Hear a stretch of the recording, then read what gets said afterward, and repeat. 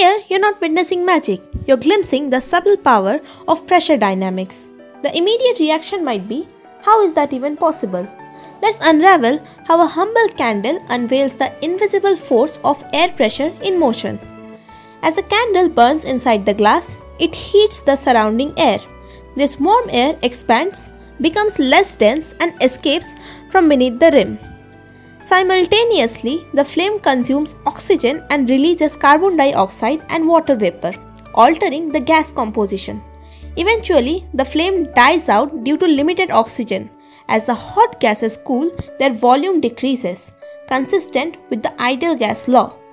This cooling creates a low pressure zone inside the glass compared to the external atmosphere.